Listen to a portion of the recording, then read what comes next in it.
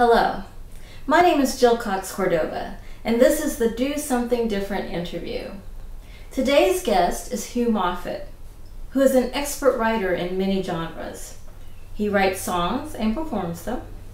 He writes stage plays, TV pilots, and screenplays. In fact, I had the honor of appearing in one of his shorts. With no further ado, here's Hugh Moffatt. The one thing that I've really gotten into that I will continue to do is I've been I've been uh, like studying math again. I was a uh, I started out in college as a physics major. Wow, a creative person that was a physics major.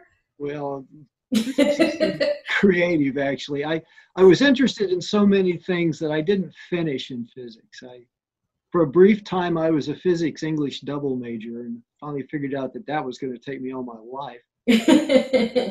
and so I, I've, I've finished as an English major, but I've always I've always loved that whole thing. And so I recently discovered the Mathologer video series.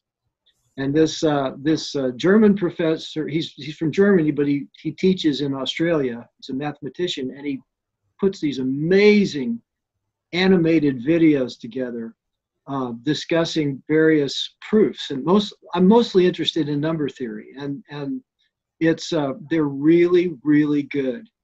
And I so every night before I go to bed, I watch one. It's very relaxing. It's challenging. It gives me something to think about as I go to sleep. It's like meditation.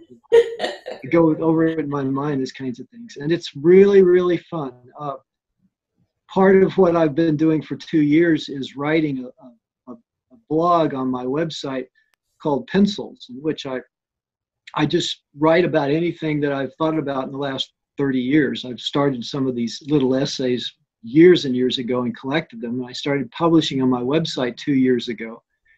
And uh, some of those are about are about number theory. Some of those are about the physics things that I like, and some of those are about religion. Some are about politics. Some are just about thoughts. I just it's just all kinds of different things. But uh, but this kind of thing goes along with it but it's so I, I it's uh, yeah, I love doing it.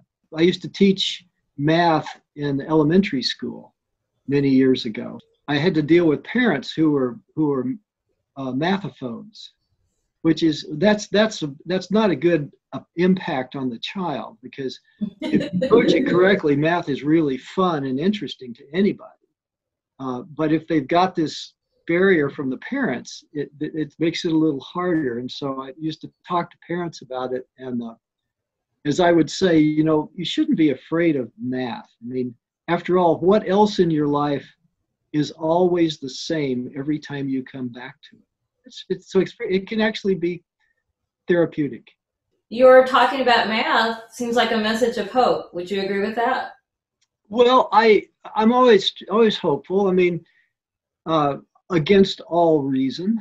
Uh, the uh, things don't look good right now, uh, and some of that's what I write about in these pencils blogs um, about how the the the um, the trajectory of our our uh, society is is not is not a hopeful one. Um, we have uh, we have a lot of history that tells us that uh, that civilized societies have a lifespan. And it sort of like uh, even not talking about the particular issues that are the problems which we should talk about all the time and try to solve them It's just that in the arc of things over a few centuries there seems to be just an arc that says okay we need to take a breather. And this maybe maybe civilization is going to take a breather. I don't know. I hate to say that. I think that um, i know we'll survive uh, and I, I think we'll learn from it if we don't forget everything because we destroy what we've learned. But if we can preserve our knowledge, math is one of those things. If we can preserve our knowledge, then on the other side of whatever comes next, and by next I mean the next couple of generations, I'm, I won't see it. Um, then uh, people will pick up the pieces and try to learn from our mistakes, and, and we'll, we'll continue. I don't care who you are.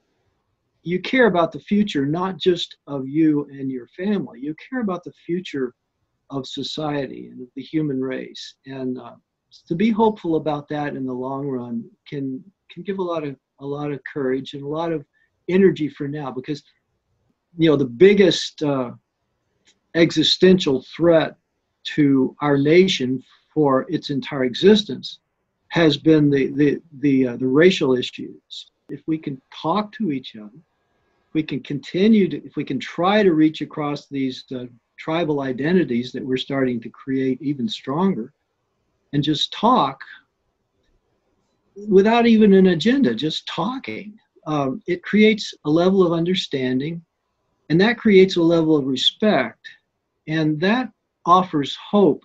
You can't just stand in the way and, and discount anybody who's talking, anybody who's feeling. You have to listen.